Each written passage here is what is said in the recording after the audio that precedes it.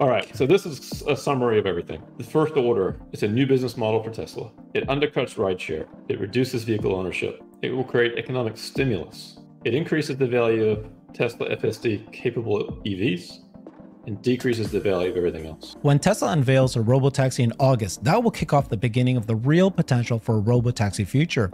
But what are the implications? What might happen to the existing rideshare services like Uber and Lyft? What will happen to consumers buying and owning cars? Will Tesla continue to sell vehicles, or might they just solely focus on the robotaxi version? What will happen to insurance? And more importantly, what about airlines, hotels, healthcare, and real estate?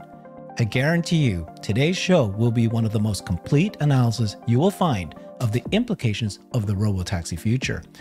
Our guest today, Cern Basher, is a chartered financial analyst He's currently running his own investment advisory firm called Brilliant Advice. Welcome again, sir, and thank you so much for giving us the opportunity with your deep dive analysis here. Robotaxi, of course, is one of the biggest topics ever since Elon announced that they're going to do the big unveil on August 8th. Thank you so much for joining me. It's great to be here, Herbert, and there's a lot of facets to this. So uh, we are very appreciative because you always come with complete analysis. You've got a full deck here that is quite, quite uh, uh, impressive. So what you've done is done a deep dive, and I'm glad somebody did this on the implications of a robo taxi future. And you have this thing called first, second, and third order effects. So these are things that's going to impact basically society in the world. Those are the third order effects. Uh, but this is coming fast and furious. It's really here now. Um, tell me how you came up with this. Yeah, I've been thinking about this for a long time. And the first order effects, I think, for most of us are pretty obvious. Although I think there's some nuances to some of them that are worth talking about. But the second and third order effects, I think a lot of people find it difficult to wrap their minds around. Um, I know that I've struggled with it as well, and this will develop over time but there are some very significant second and third order effects. Okay, so let's get started with the deck here. Um, first, you start off with where do people live? Tell me what this is about. Yeah, so in the discussion about a potential robotaxi network, you know, Elon has said that on August 8th, we're going to unveil it. Okay, so what does that mean? Well, they'll probably tell us, you know, how they conceive constructing the network and pricing perhaps and the vehicles and so on. But we won't have an instant robotaxi network nationwide overnight. It's going to make the most sense to trial it, to start it in certain areas first. And this map shows where half of the US population lives in the blue regions, and the other half is in the orange. So the blue likely is where robotaxi would would start first, and then from there branch out. Now, there are uh, about 333 cities in the United States that have 100,000 or more people. And there aren't, you know, 333 squares on that on that chart. But that's where I think we'll see it start. And so I think a lot of people, their initial reaction is, well, okay, it's not going to work in rural areas. And that's true. It's not going to be in rural areas to start with. I know some people want robo taxis in rural areas, but that's not likely where it's going to start. You want to start in a very dense population area where there would be a lot of demand for for these this type of service. Beautiful. Agreed. That makes so much sense. Um, and I know you've come with a lot of uh, other stats and facts, so let's get there. But first, this is from Brett Winton, ARK Invest. They're a disruptive, they're an investment firm that's really focused on disruptive technologies, led by Cathie Wood. Brett Winton said this. Um, looks like it did. He posted this on April 5th, which is just three days ago. So he goes, if you sell a $25,000 car, you're going to get an optimistic $2,500 in income once. But if you deploy a robo taxi at a dollar per mile, you're going to get $25,000 in income every year annually. Run is worth 50 $25,000 car sales on a present value basis. Indications that Tesla more confident in the latter model, Robotaxi, are massively positive. this is completely changing what Tesla is all about. Lots of ways to get to this, and I encourage you to read Tasha's um, research and dig into our open source model in Tesla. So he goes very rough math. A robotaxi operating 12 hours a day, 25 miles per hour, does 100,000 miles per year. There are a trillion miles addressable at more than a dollar per mile per our research. At 50% platform fee, 50% operating margin on that net revenue, Tesla takes off $25,000 in operating earnings. Net present value difference over seven years at a 10% discount rate yields a 50 times difference. Lots of ways to get there, but obviously material more value. This is how we come up with the math. So you and I, you've done deep dive on mm. robotaxi so i encourage people if you want to know like the actual deck the actual slides the actual calculation spreadsheets there's a previous show multi, maybe a couple of shows that uh, cern has done on this channel. Uh, so what, what's your thoughts on his business model? Well i love the way he put it. He made it very simple and very clear and very short quick math. And that's the key first order effect is that this is a massive change a night and day change to Tesla's business model. Over time, it's not a night and day switch in terms of their revenue and profitability, you know, after August 8th, but it's very clear what this will mean for Tesla in the long run as more and more of their business shifts to this model. 50x change in the profit potential, um, or the revenue potential on a per vehicle basis. It's it's it's staggering. Now, if you go to the next chart, Herbert, Brett's numbers, you know, it's kind of interesting also compare nicely with the work that I've done. And so um, depending on price per mile and utilization, but if you go to the far left column, using similar numbers to Brett Winton, I had about $25,000 in net profit at a dollar per mile. And that was only at 30% utilization. If you increase the utilization rate that would allow Tesla to decrease the cost per mile. And I still get, you know, net profit ranging from twenty-five to twenty-eight thousand dollars per vehicle per year. Wow, this is amazing. So it's very similar. Um, okay, let's keep going. Okay. So next? the next big thing is clearly there's an opportunity to undercut rideshare and public transportation, and this is what Brett was also talking about. Let's just focus on on rideshare. So James Douma recently talked about some data that he obtained and analyzed from Chicago, and I'm collaborating a little bit with James, although I've been so busy lately, haven't really had a chance to dig into this much yet. But I wanted to share with you what James has done and then some early work that I've done on this. So the first thing here was this this heat map, and so you can see this is the Chicago area, and the heat map shows where most of the rides take place, and certainly it would be mostly in the downtown area. Um, if you go to the next slide, mm-hmm. James Douma suggests that you know in, in terms of opportunity for for Tesla and rideshare, the the average price per mile in the Chicago area is about two dollars and forty cents. Right. So what Brett Winton was talking about earlier there is about a dollar per mile. This is two forty. And so if there was a robotaxi that had a twenty thousand dollar cost with a ten year life, James has calculated that that has a present value of about eight hundred thousand dollars, or an annual profit of about one hundred eight thousand dollars. Okay. Now that's if Tesla came in and operated at basically the same average rate that that that Uber does. So basically, just taking a robotaxi and and being in the market with Uber and and charging the same the same price. So clearly, there's an ability to undercut this. This this number is four times as much as what Brett Winton and what my work shows could be the potential profit. Now, certainly in the early years, the profit potential on a per vehicle basis is very high. And over time, that comes down. The overall profit grows because you've got more vehicles in the fleet. But what James is showing here is that this, you know, it doesn't take much to undercut what Uber and Lyft and others are doing. Right. And if you just match the pricing, you would be making $108,000 per year per, per vehicle in, in the, in, the, Chicago area. So this this shows the opportunity. Yeah.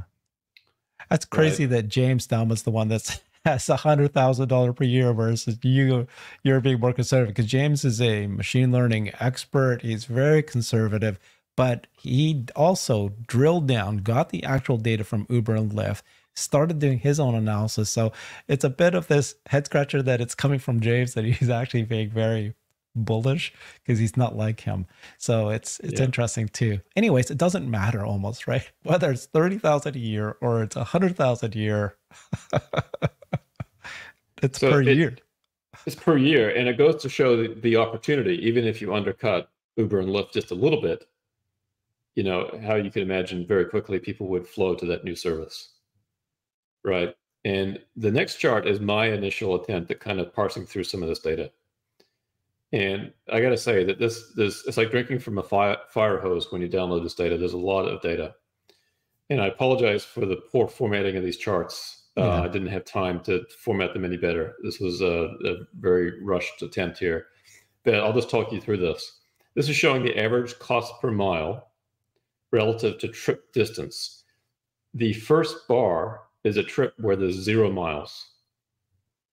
Okay, and you can see that the average cost per mile is super high. Basically, I'm not sure what's going on there. Maybe somebody got in the car and didn't go anywhere, and there's still there's still a charge, or or maybe it's only half a mile or something. You know, it's it's from zero to one miles basically is that first bar, but the second bar where it shows about 750, that would be the average cost per mile if you went one mile.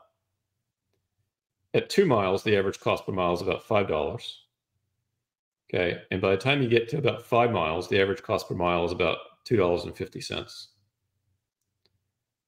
Okay. Yeah. Yeah. So on the short end there, there's a lot, you know, there's a high cost per mile. And then you can see over time, or as, as the trip length increases, it flattens out at about a dollar twenty-five a mile. Yeah. Okay. But because most of the trips are short, the average fare, I believe, in the Chicago area is about 240 on a per mile basis. Okay. So in our models that we typically that I typically do is I assume an average distance, you know, say five miles, and then I assume an average fare, let's say a dollar or a dollar fifty a mile. So this just gives you some degree of mm-hmm. understanding in terms of how the pricing changes on a distance basis. Mm-hmm. And then if you go to the next chart, this shows uh, any given day. This is looking at about you know weeks, eight days worth, I guess, of, of data, and the number of trips per hour each day. So you can see there's peaks and valleys. So there's a lot of complexity here. I guess is what I'm trying to say with the robotaxi network. There's a lot of complexity to it. There's going to be it's going to take some time to work out kinks. Unless Tesla decides to partner with an Uber, and I hold that out as a possibility I don't think Tesla would buy Uber. I think that's silly. But partnership potentially, and if not, then they've got some some learning to, to, to, to have in terms of how many vehicles do they need in the fleet at any given time to meet these peaks and valleys, so that the customer experience is good. And mm-hmm. Uber's been at this game now for years, so they have a lot of knowledge in terms of how to operate the robotaxi network that Tesla does not have yet. Mm-hmm. Okay. So there's more that we could discuss on that. But if you go to the next slide, further looking at average cost per mile in 15 minute intervals for different trip lengths. So the blue line is trips that are zero to five miles, the very short trips. And you can see the average price per mile there fluctuates between, say, 350 or $3 a mile up to seven or eight so think about if there's a, a, a, peak period, like rush hour, or a football game ends, or mm-hmm. you know, a mm-hmm. concert ends. Suddenly, that that cost per mile just skyrockets because everybody's demanding an Uber, and it's just not enough to go around. And what Uber does is they institute surge pricing, and they just jack up the rate to have a market clearing price. Mm-hmm. People eventually say, "Oh, I'm not, I'm not paying forty bucks to go five miles. It's not, not worth it." Mm-hmm. Right? They walk or they take the bus. So I also think that the robotaxi network is likely to have some kind of dynamic pricing like this as well. Right. And you can see that for longer trips, that fluctuation isn't quite as great, but it's still there. It's still very significant. Okay. So I thought that was interesting from from this data. Great data. Yeah. Thank you. And then the next one is shared versus non-shared rides. Mm-hmm. And I think the same thing may apply also to Robotaxi that if you share the ride with somebody, then your cost goes down. Uh, and that's that's pretty pretty pretty logical. If you want the vehicle to yourself, fine, no problem. Mm-hmm. But if you yeah. also want to share it with somebody else, that's great. Yeah, Lyft has that in their app. You can decide if you want you don't mind it being shared, mm-hmm. and then they'll pick up other passengers, strangers. Yeah. That's okay. Mm-hmm. So I get a lot of comments, and people say, "Well, a dollar per mile is too much, or fifty cents per mile is too much." Well, okay, but if you share it with somebody, it might be half of that or a third of that. Mm-hmm. Is that too much? If it's only twenty cents a mile, fifteen cents a mile for you, it's probably pretty pretty reasonable at that point, right? So ridiculous, yeah. Right. So you just have to think about all the different possibilities. It's not just, you know, a single person in a robotaxi. There's, there's other ways of, of doing this. And Uber and Lyft are masters at doing this. Mm-hmm. Okay. So again, I'm just getting into this data. There's, there's a lot to it. I'll have some prettier charts at some point and some some more information. But but thanks to James for for kind of uh, uh you know starting that conversation. I think looking at Uber and Lyft, I think will be, will be very instructive and to James's point, you don't really have to undercut them much, if, if at all, in order to capture a decent size of the market. And ARK Invest here is sort of showing a similar thing. So depending on the price per mile, you capture different segments of the market. And as the price per mile comes down, the segment of the market that you capture becomes larger and larger and larger. Right. So for the existing addressable market for ride hail companies, at a cost of between two and four dollars per mile, that's a $34 billion opportunity, according to ARK Invest. Okay. But if you can get the price down to a dollar per mile, then that's an additional trillion dollar opportunity. And then you get the non commuting miles in higher income countries priced at 60 cents per mile. That's another 2.4 trillion of market opportunity. And then you get prices of 50 cents per mile in lower income countries. That's another 2.75 trillion. And then long term, $5 trillion opportunity in low cost, accessible, autonomous travel at 25 cents per mile. So we will start on the left side. And as the network gets built up, more vehicles in the network, pricing will come down and the market size will just expand and expand and expand. Now, this is an existing market opportunity what happens with everything when you lower the price, you get more of it, more demand. And I don't know if that's fully taken into account here. I doubt that it is. So chances are these numbers are pretty conservative. Oh, for sure. Right. But the size of this market opportunity is just enormous. Massive. okay. Okay. so when we think then about disrupting rideshare, that's great, but it's also public transportation. Yeah. Okay. When I take a train, trains are cheap, but I have to get to the train station. And the train may not take me exactly to where I want to go. Yeah. Right. And if I miss the train, then I have to wait for the next one. Or same thing with a bus. I have to wait out in the cold and the rain and the snow, wait for the bus. If I miss it, I got to wait more time. The bus doesn't take me where I want to go. So this is the opportunity for autonomous vehicles. They can take you from point A to point B without going to all those different places in between and having to wait and all that. And it's the same thing for school buses. Right. I think a lot of parents may opt to put their kids in a robotaxi. They certainly won't be bullied by any other kids. Right. And they wouldn't have to spend as much time on a school bus. And they could also, after school, be taken from school directly to the sport mm-hmm. that they're playing. Yeah. Instead of having to sit on a bus or the parent having to go to school and then drive the kid all around. Like there's so many sort of convenience opportunities here in, in addition to yeah. the cost savings potential yeah. that a lot of people will opt for. So yeah. no doubt a massive opportunity to disrupt public transportation. Farzad uh, did a post and he said that um, yeah, robotaxi will disrupt public transportation, something like that. And Elon replies saying, you know, yes, yeah. very likely. Yeah. Now it's interesting if you look at a subway map. So on the left side there is is New York. Massive network of trains. You know, pretty amazing system. Very good system. Yeah. But if you want to get to different points where those lines don't go, you it's going to be kind of a complicated journey. Right? Tokyo, top right, incredible subway system. Right. And it may be harder to disrupt a system like Tokyo, but not many cities have a subway system like Tokyo does. No. Yeah. Okay. But look at the lower right. This is mm-hmm. Las Vegas, the boring tunnel mm-hmm. network. Why not build the subways underground and have autonomous vehicles operate? So, for cities that haven't invested billions and billions of dollars in subway train systems, they will have an opportunity to invest probably some less money in underground autonomous pipelines. And that frees up the city on the street level from all the congestion of transportation. So this plays right into the strategy for the Boring Company as well. Oh my gosh, that's brilliant. Yeah, we know the subways work. I mean, obviously the New York and Tokyo, fantastic. I've obviously used them all. They're amazing. And I don't it's mm-hmm. not going to be disrupted by robotaxi per se necessarily uh, because it's just so efficient at people moving. But many cities don't have it like you said, and so then if they wanted it, they're likely to do boring tunnel, they're likely to do autonomous. It just makes so much sense. The cost will plummet and it's just going to be even more effective. And remember the the the video that uh, Elon once did a long time ago where the cars can actually emerge mm-hmm. from the underground tunnel.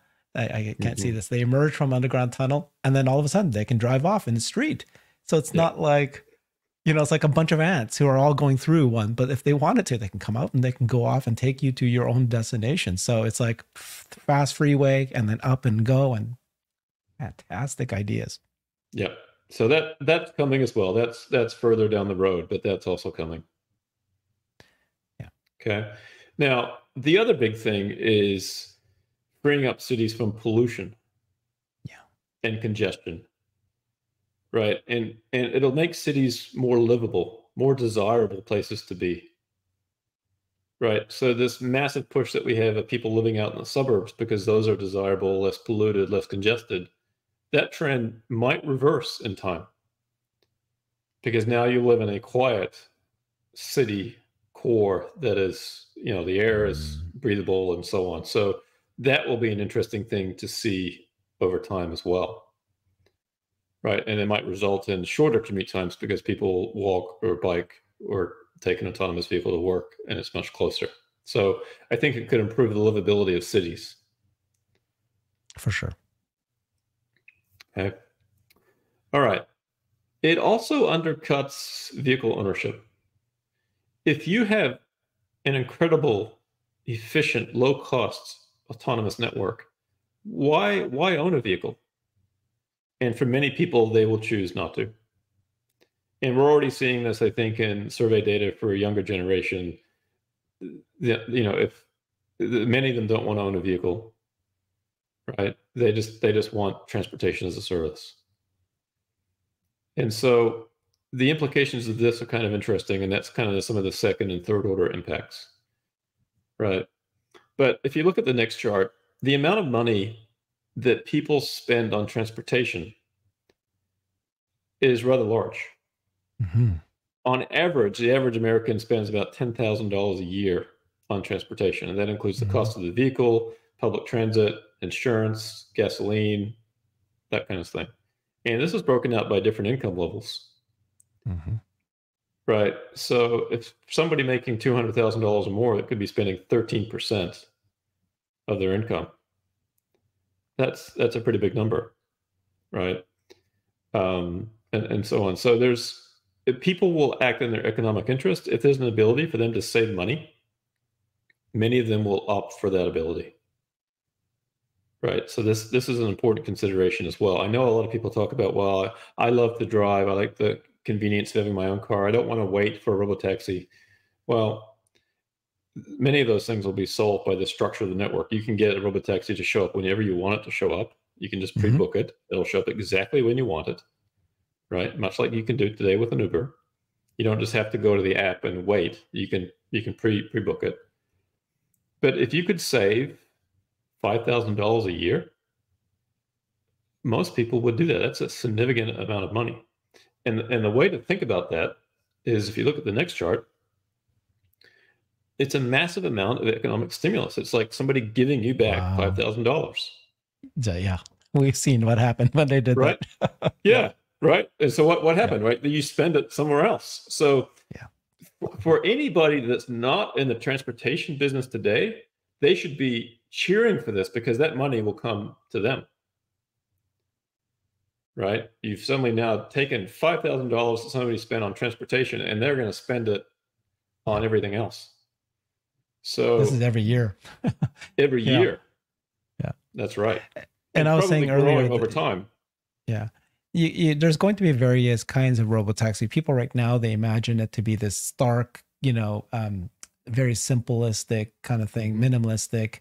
But you can have luxury, you know, just like you have now, where you have a black car pick you up. All the uh, very wealthy people they will have black cars, limousines pick them up. You can have a really decked out, just what an experience that could be, right? If you're willing to to really go That's for right. that road. So, yeah, okay. Yeah. So so again, don't underestimate the power of this. Right? You put people put money back into everybody's pocket, they're going to spend it now on something else. So it's it could create a bit of an economic boom over time from that repurposed money. Okay. We've talked about this before. The other thing that this does is it makes the value of any vehicle that is capable of autonomy, FSD capable, it increases the value of them. And I've done some work on that. Depending on your assumptions, you're looking at 40 to, you know, a doubling of the vehicle's value, a 40% increase to a doubling of the vehicle's value, maybe even more depending on your assumptions. Either way, it's a significant increase because it turns a depreciating machine into a money printing machine. Right. And whether that's $25,000 a year or 108,000, who knows? That the opportunity to make money with an autonomous capable vehicle is there. And this also points to the need for other automakers to make their vehicles FSD capable, i.e., license the technology, because they want their cars to become money making machines and not just depreciating machines. Because if they if they only sell depreciating machines, the value of those will depreciate even further because they become useless to people. Yeah, this is important to for us to just pause for a second and think about it. So let's carry this forward. If Tesla comes out with FSD capable vehicles, whether or not you decide to put in a robotaxi network or you don't, it's capable of FSD. You've pointed out that lots of people come knocking on the door going, Hey, let me buy it for you. And I'm going to buy it three times what it is worth now, even more based on what it can do for them. But Mhm. then what will happen to the other automakers who are continuing to pump out brand new cars that are not FSD capable? Their prices will fall. And what they will be like usually, but basically what you're saying now, it's like going to be tremendous pressure for them to try to make, think, why would you create cars that are not capable of this in the future? So people That's will just flock to buy the ones that are capable. Even if they don't buy it, they don't want to pay the extra cash for it, right? Quite yet. The value is worth more. Yeah. Three times as much. Now, Yeah. So what might happen in the short term, though, is that there might be a Mm-hmm. glut of these unwanted vehicles. So the prices of those vehicles could come way down, I see. right? But that's depreciation for the owners of them. Yeah. But for somebody who wants to buy a, a cheap ICE vehicle, they might be able to for a period of time. Gotcha. But eventually, what happens is the other OEMs scale back their businesses, and actually, we'll, we'll get to that here in the next next slide. Um, we're all aware of economies of scale as automakers scale their business, right? Yeah. They they make more money to cover those fixed costs, but there's also diseconomies of scale. Nice. So yeah. in the simple analysis here, just working this backwards, if a car costs hundred thousand dollars to make and you make five cars, the cost per unit is twenty.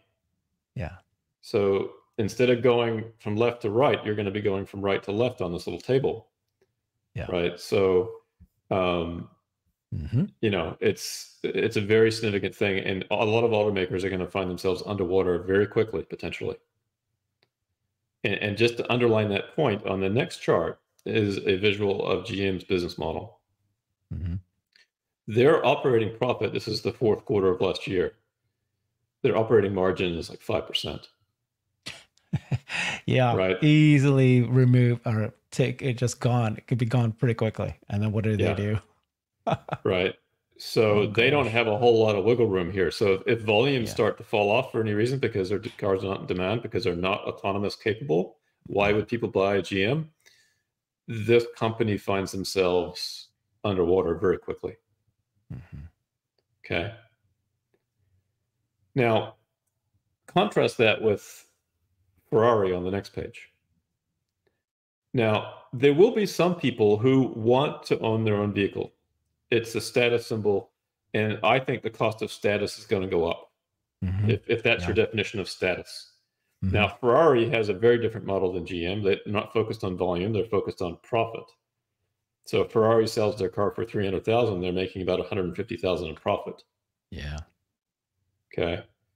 Maybe demand for Ferraris goes up. I, I don't think they would necessarily be too impacted. But the problem is that Yeah. they have is that an autonomous vehicle is kind of a premium feature.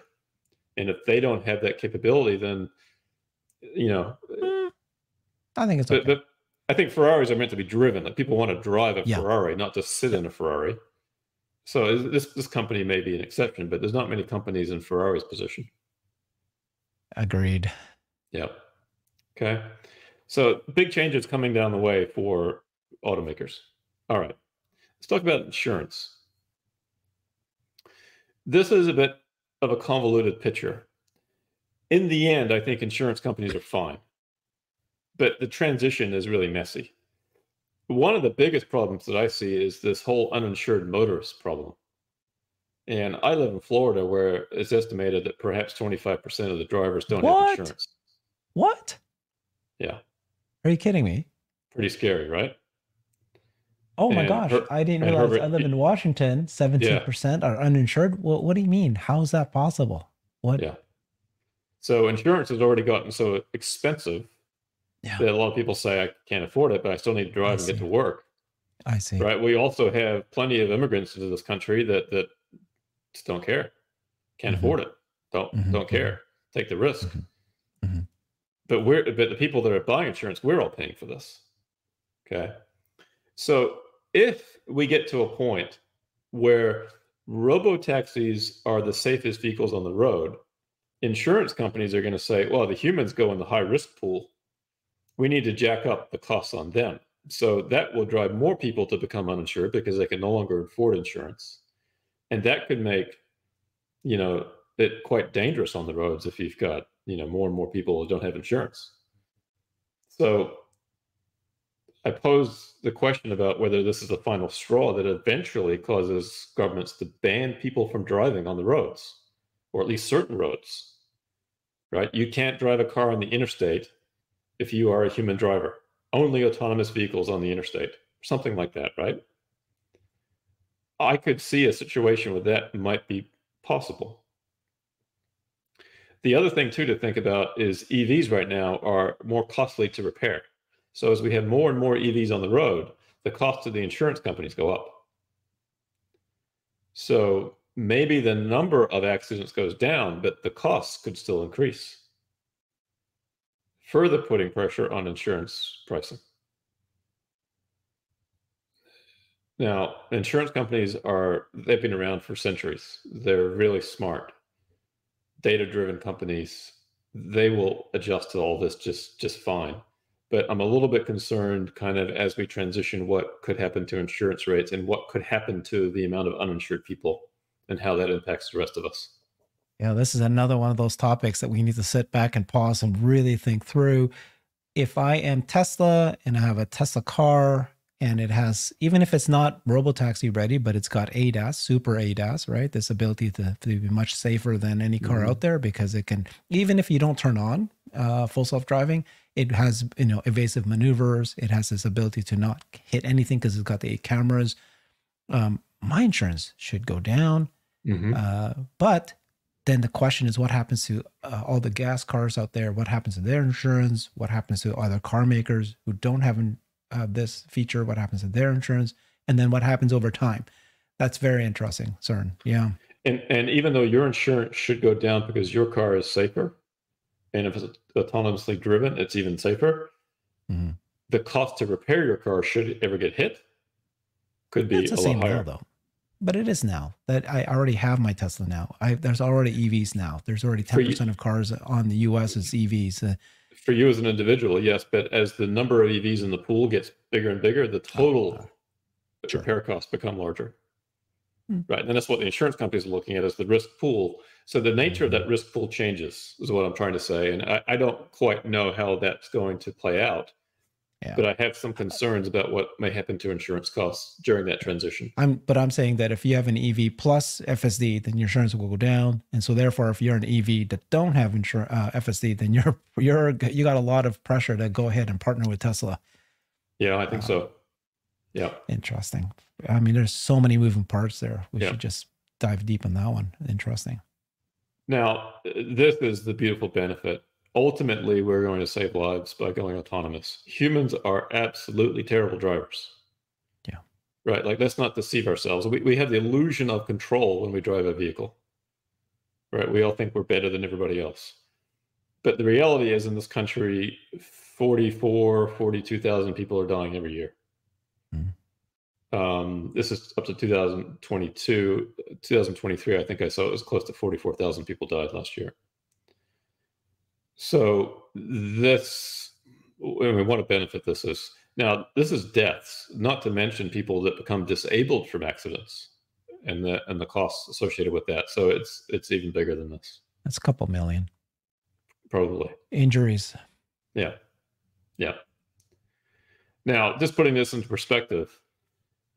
It's like accepting 200 plus Boeing 737s crashing every year and everybody dying, Jesus.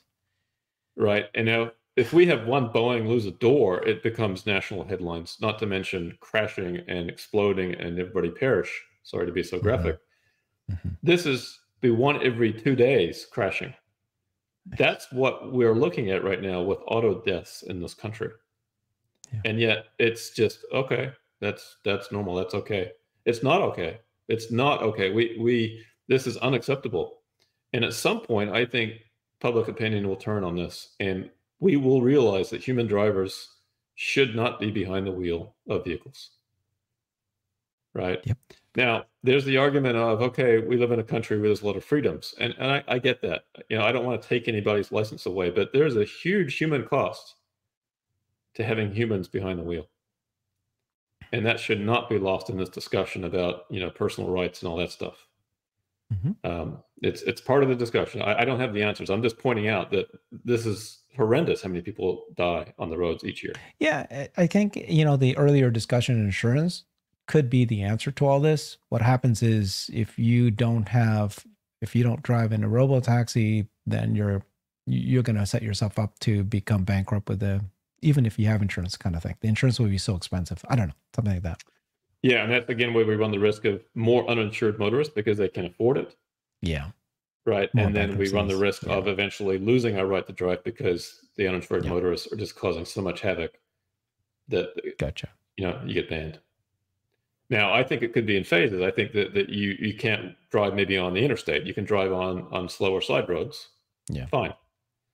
Right. You have to look at the data, I guess, and see where, where it matters. But from a congestion standpoint, it would be pretty awesome to have just the interstates being autonomous. It would be such a smooth flowing traffic um, you wouldn't have those stops where you know everybody brakes all of a sudden and then it causes a traffic jam five miles behind them. It would be much more smooth, smoothing, smoother operating uh, flow of traffic. Okay. And the other thing is, it's not just traffic accidents and deaths; it's also from vehicle emissions. It's an estimated 10,000 people die every year because of emissions from vehicles. Right now, this one isn't so obvious. It's not like you stand stand by the road and get sick and die all of a sudden. This is this is this happens over time. But this is also not an insignificant, you know, thing to, to think about. Uh, internal combustion vehicles are dirty. They're ultimately deadly to people, right? Uh, breathing breathing those noxious fumes. So to the extent we can get rid of that, that's great. It also makes our cities more livable. Um, and so on. So this is another part of the equation too. Okay. Okay. So thinking forward, um, this is from um, ARK Invest. they estimate that autonomous taxis could eliminate 60% or so of short haul airline flights. If you factor in the cost and the time it takes, you know, go to the airport, check in, wait around, it might be just as quick just to take a, an autonomous vehicle. Right. And they're saying wow. at 50 cents per mile, a robotaxi service would be less expensive than more than one half of short haul airline flights. at 25 cents a mile, it could be cost effect more cost effective than 95% of short haul journeys. So that's something to think about longer term. That's not going to happen anytime soon, but this is coming too. That's so interesting because uh, some people were thinking that this might actually disrupt um, trains. I don't know. Yeah. Yeah, I'm not so so sure so much in the U.S. because we don't have much of a train network here, but in Europe, sure. Like the semis, yeah. autonomous semis could disrupt trains because the cost is so much lower. Oh, sure. We're talking yeah, about the that. bulk uh, shipping, not yeah. not humans, not humans. Right. Yeah. No, that's coming too. Yeah. Okay. Okay. The other thing that's going to clearly disrupt is service stations. and I built a model that I called Fumes fueling usage and market extinction of service stations. As you know, I like to have some fun with the names of my models. This is great. But That's... with autonomy, uh, the number of service stations that are needed dropped dramatically. Now, I calculated the number needed based on the average service station sells 1.5 million gallons a year. If you have less and less ICE vehicles on the road, you don't need as many. Now, service stations are already, in many cases, transitioning to a new world they're adding in chargers. They're trying to adapt. The question is, that's great. Will we need as many? The answer is no. Yeah. Okay. You certainly won't need as many service stations close to your home because if you have an EV, you either charge it yourself or in the robotaxi world, it's charged somewhere else and no one's stopping to, to, to fuel up their vehicle. In that case, it's being charged somewhere else. So the need for service stations probably drops precipitously. Yeah. And I think we've done or you you've done analysis also that electric vehicles uh, uh, charging stations make a lot more of an economic sense for a gas station instead of gas mm-hmm. because the people need to stay there for 15 minutes instead of mm-hmm. a 4 minute, you know, pump and dump and go. This is uh this is 15 minutes and uh they're going to spend more money. They'll sit and, you know, some could be more lucrative for them. Yeah, and it might not be so much convenience stores that, that if people have 15 minutes, then they can sit down and have a meal. Yeah. Not just get a candy bar and a Coke. So the nature of what people may be looking for could be different if there's a different time period involved. Yeah. So service stations are going to have to think this through, and there's certainly, you know, some that are. Okay, the other one is parking. Uh, if we have vehicles that are being utilized more, then we don't need as many parking spaces. Now, we don't have a good handle of how many parking spaces there are in the US, but the estimates range between 800 million and 2 billion parking spaces in the United States. Enough to cover the entire state of Connecticut. Okay. So, an average of three to six parking spaces for every car in the US makes up about one fifth of all land in city centers is parking okay, and 20% of prime locations. So think about if you don't have as many vehicles just sitting around, if they're being utilized more, you don't need as much parking. Therefore, you can redevelop the land. You can make more residential, you know, places for people to live because now the city is more livable because it's less congestion and less pollution and less noise. So the real estate opportunity here is really interesting, and it's going to be at the expense of parking lots. Now, there's a great video I've mentioned before. This yeah. is a great video to watch. America's stupidest parking secret mm-hmm. um, from the from the channel Climate Town. Uh, parking laws are strangling America. This is a great video. I, I recommend this all the time. It gives you it'll give you a great understanding of the history of why we have so much parking like too much and parking, right? That the laws made it so that you don't need that many parking, but for some reason we have yeah. too much parking, and now it's like it's kind of ridiculous, and that's going to get yeah. even worse because we don't need it even more. That's right. Yeah, interesting. And and there was no fundamental reason why we settled on the laws that we did to calculate the number of parking spots. There was no science science based approach. Yeah. Okay. So this is a huge opportunity longer term. Okay. Another big implication is that we will talk to our cars. Okay. okay. So what does that mean? Well, it's because it's like having a conversation with a taxi driver if you want to or not, or you can tell your car, you know, to be a certain persona. Right. Yeah. You can you can talk to you can tell your car to pretend to be anybody and it can be anybody. Or you can have your car act as a tour guide or to give you recommendations. You just fly into a new city and you say, "Where are the best restaurants? I'm interested in the Vietnamese restaurant. What's the, what's the best one in, in town? Or, or on the way to my destination, can you recommend a place for me to stop?" So it's not just a mode of transportation. And actually, if you flip to the next slide, uh, just bef- before you go there, Jeff yep. Lutz uh, point, posted an, a post on X saying imagine when your robotaxi has KITT in it like this right mm-hmm. and you're driving to the chicago cubs uh, baseball game and then you can basically have you know the car telling you what's going to happen and you can have it in the announcer's voice that you love so much mm-hmm. and then rohan patel who's the executive at tesla said you hit me because he loves that exactly that he's thinking you you perfectly hit that post exactly for me but that's what you mean. Like you can have different voices. You can have the voice you like. You'll start to fall in love with your car. you know, you become a yeah. develop a relationship with your car. Yeah, could be interesting. So actually, related to that is also an interesting point because some people say, you know what, I want to drive my car. I don't right. want the car to be in control. Right. And my point to them is, well, you actually may have more control. The car is doing the driving. It's relieving you of having to pay attention but you could actually ask the car, why did you stop back there? Mm-hmm. You, you could have a conversation with the car about its driving and saying, you went through the intersection and did you did you not see that horse? Mm-hmm. And and the car could say, no, I saw the horse, but I also saw the the truck mm-hmm. coming through the red light that I needed to avoid. Right, like there could be a, a, very interesting discussion you could have with the car about the way it's behaving. Mm-hmm. Right, and yeah. that's interesting thing. I haven't really heard anybody talk about yeah, talk. Drive about faster, take that route instead, just like you would with a you know a taxi driver. Yeah. and, and you could tell the car and say, "Hey, I'm not comfortable with the way you're driving. Can you slow down? Can you speed up? Can you?" sure. So you could give it little hints like that, little pointers. Sure. So you actually have more control, perhaps, than you more did control. if you were just driving yourself.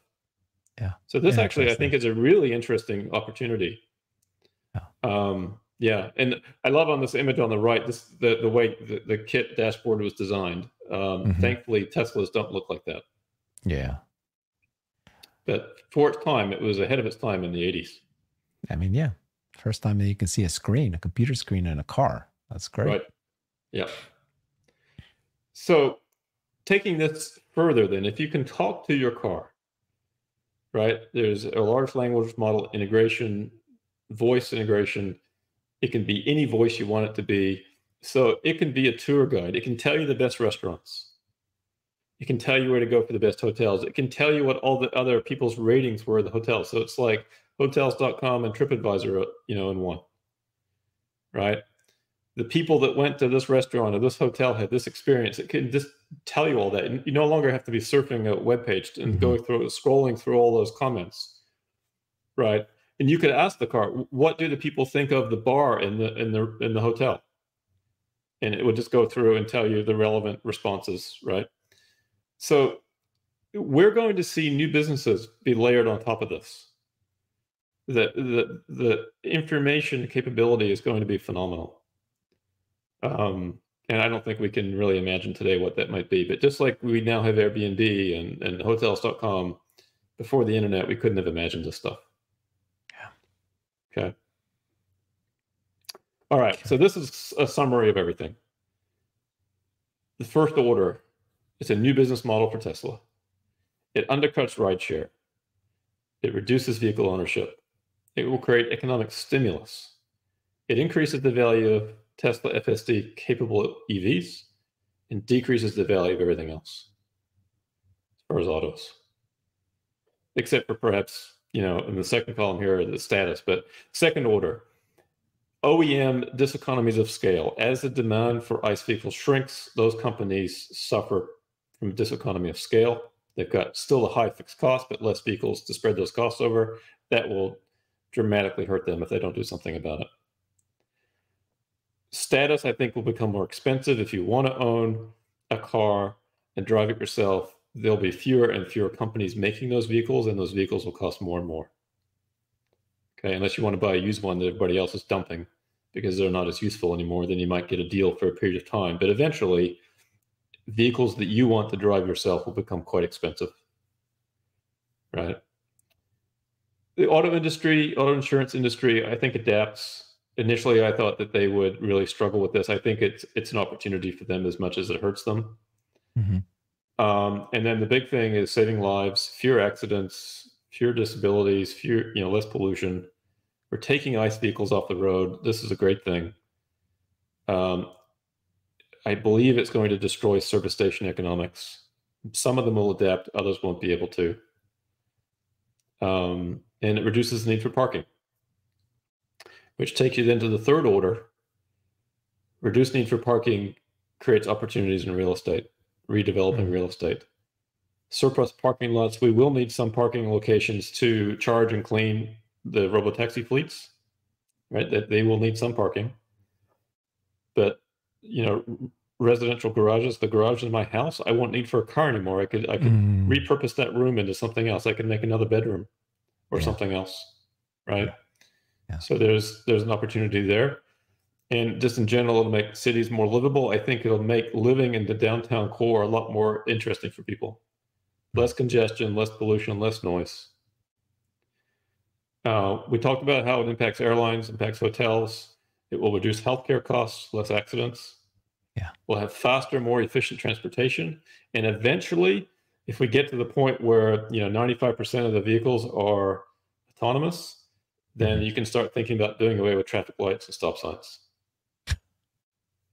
right. And, wow. Interesting. And, yes. And maybe what's left is the emergency vehicles. And when a police car wants to drive, it just drives, you know, it doesn't have to worry about stopping because it knows all the autonomous vehicles will stop for it. That's only when everything is autonomous. But like you said, that's why you yeah. were saying earlier that it could be that um, there could be like zones, no human drivers allowed here. So then that can happen. Like right now yeah. in many cities, in some cities, like uh, you have to have uh, proper author- authorization, license, your license plate. Like mm-hmm. some cities, uh, only if your license plate is odd can you come in on a Monday. Otherwise, yeah. you can't come in to the city on Mondays. Uh, that's what they they put restrictions like that, right? Yeah, and I think maybe perhaps in certain rush in certain cities in rush hour, it's mm-hmm. autonomous vehicle hours during that time. Interesting. To relieve congestion and maximize traffic flow, and then after hours, you could drive into the city. Yeah. Right. Those kinds hours. of restrictions make a lot of sense. But you know, I, I'm a I'm a cyclist. I can't ride my bicycle on the interstate. Mm-hmm. Right. There's a reason for that. So mm-hmm. we may also have a reason for human drivers not being allowed on the interstate one day too.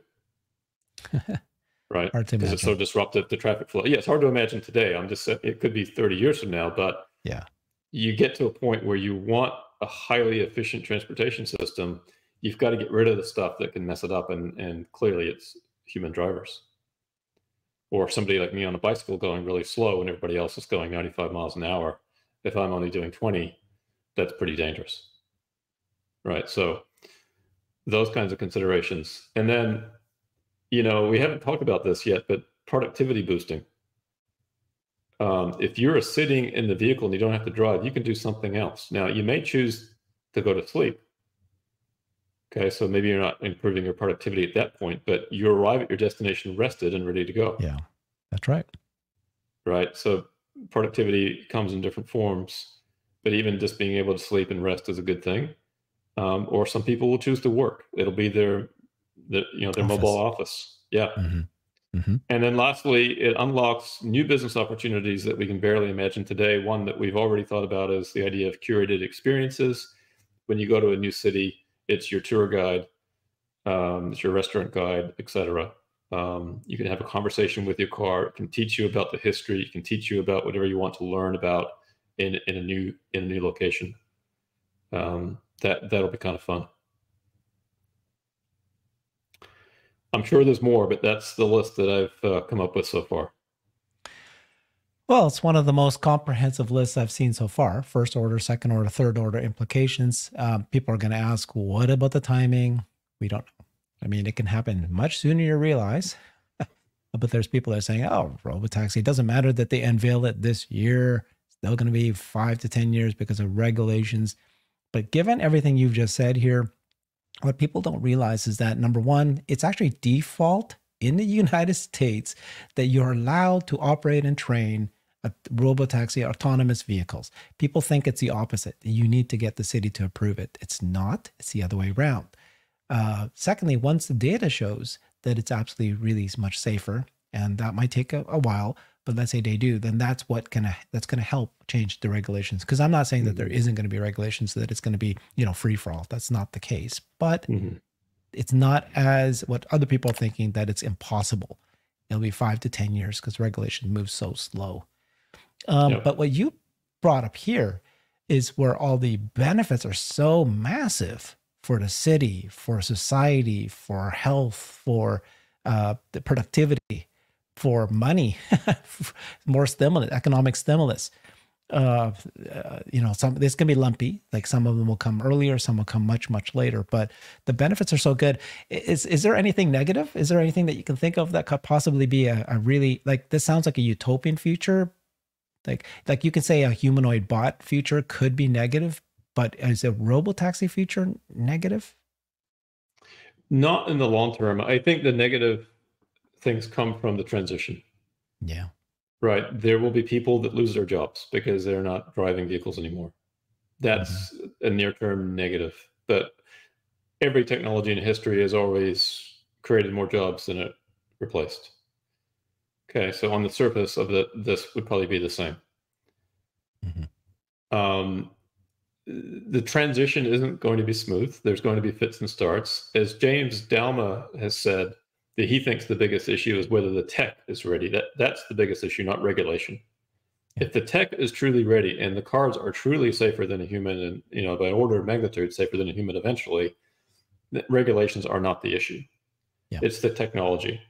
And so, are we there today? Maybe not quite, but we're approaching that point pretty rapidly. Right. So, when we start talking about timelines, when is the tech truly ready for this? Right. And there's somebody on, on X, and I forget the account's name, but they, they've got a chart that shows what FSD can do and can't do and how that's changed over time. The car, you know, can't go in reverse yet Okay, so when when will it be able to do that? Because it needs to be able to back itself out of a sticky situation. So we're watching the tech improve rapidly. And I think that is the key issue is when when is the tech ready? And I think that's still up for debate. Mm-hmm. But what we've clearly seen in, in recent months is the acceleration in the tech's capability. Um, but I really can't think of any negative things um, you know, it's like saying when we went from horse transportation to vehicles. Yeah, there's lots of negatives, but overall positive. Yeah. Um, in this case, it's a very similar sort of technology, but we're, we're moving to a cleaner technology. I think the issues with going from horses to vehicles, well, we solved one dirty problem of all the horse, horse manure, but we created another problem with the pollution of the vehicles. Yeah but it certainly greatly improved people's lives. They were able to move around much lower costs, much faster, much more efficiently. Mm-hmm. And this is another accelerant in all that. Um, yeah. The challenge is again the transition. We, are instead of parking, we need drop-off zones. We need a place for the cars to pull over safely to drop people off so they can get in and out and not be blocking the roadway. So it's a complete redesign as to how we design our cities and and you know public spaces for, for that right? If if we keep all the on-street parking spots and then just have the robo taxis drop people off in the middle of the street then that's not going to work.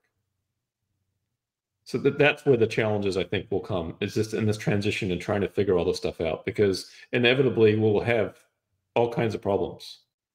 And i'm sure that the media is going to point at every single one of them and say this is why robo taxis will never work mm-hmm. but they're all solvable ultimately just like all the problems were with with vehicles right Um, if you go back into the history and look at the transition from horses to cars, there were all kinds of new problems that people had never encountered before. But we've we've solved them all, mm-hmm. and the same will be true in this case. Maybe it takes us twenty years to solve them all, but but we will. Wow, thank you for doing that because obviously this is one of the most, not not the most, but one of the most uh, tremendous implications to society, as as you just brought out. It's tremendous impact to productivity. Uh, people can relax, enjoy their lives more, less deaths. Uh, the costs could go up in some cases, go down in others, but uh, it's exciting. There's so much to mm-hmm. unpack here to continue to uh, talk to society, you know, lawmakers and everything to understand this better. But thank you for putting this together. It's a good starting point. Um, the most that I've seen, comprehensive, and uh, just love that last that's that table that you put. And I'm sure it's going to be something we're going to continue to work on and keep adding and subtracting and, and so forth. But this is great. Thank you so much, Cern. This is uh, appreciate you doing this. My pleasure, Herbert. And I would just say thank you to all those on X that interacted with my earlier post on this. Yeah. Their comments and their feedback were instrumental in helping me put this slide deck together. Yeah. And maybe at some point there's, you know, version two and version three. So I appreciate everybody, you know, all your comments have been very helpful. So so thank you very much. Yeah. And, and it's interesting because uh, if you did this and you did, we started talking about this maybe three months, four months ago, five months ago. I was like, yeah, mm-hmm. it's fun to talk about the future. This is no longer that far away. This is something mm-hmm. we need to start talking about today. It's years away, not not decades away. Thank you so much, Cern. Appreciate you. Follow him on X at Cern Basher. Um, and uh, he'll be on the show many times. Thanks. Bye, everybody. Thanks, Herbert. I've created a website that is the most comprehensive resource for the Tesla investor. Please check it out. Simply go to my website at herbertong.com.